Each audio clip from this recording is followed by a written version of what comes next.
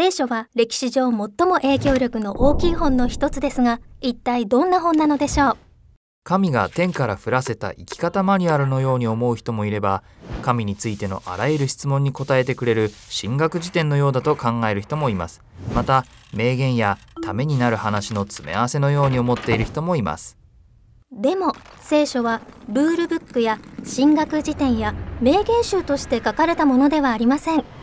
じゃあ聖書って何なんですか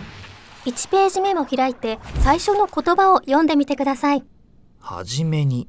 次に聖書の最後の章を開いて読んでみてください。彼らは世々限りなく支配する。つまり聖書は始まりから終わりまでの物語を記しているんですね。神がこの美しい世界を共に管理するパートナーとして人間を選び私たち人間がそのパートナーシップを台無しにしてしまいましたそれを神がイエスを通して私たちと世界を回復してくださるという壮大な物語なのです。一つの物語だけどたくさんの筋書きと登場人物が多くの書物に書かれていますよね。でもそれぞれの書の考え抜かれた構造を知れば混乱することはありません。また各書が全体の物語に関連していることがわかります。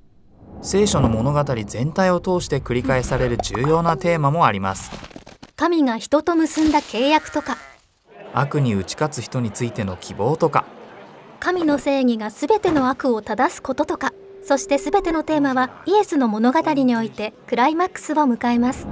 聖書の中には普段の生活では使わない奇妙な言葉も出てきます。でもそれをゆっくり学ぶとその言葉が聖書全体に深い意味を持たせていることに気づくんです聖書の中のさまざまなスタイルの文学を読むのも難しいです。でもその方法がわかると聖書はあなたの生き方や全てのものについての考え方を変える力がある工夫に富んだ書物だと気づくでしょう。